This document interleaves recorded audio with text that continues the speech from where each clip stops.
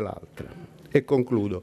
In quasi mezzo secolo di impegno contro le mafie ho compreso che sono necessarie sì buone leggi, strumenti legali operativi per le forze di polizia, per la magistratura, per tutte le istituzioni, necessarie ma non sufficienti.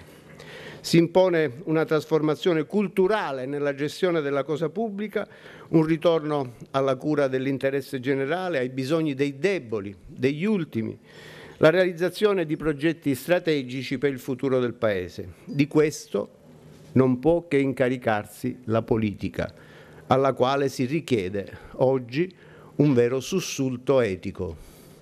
E questo, signor Presidente della Repubblica, signore e signori, credo sia il nostro comune e più importante dovere. Grazie.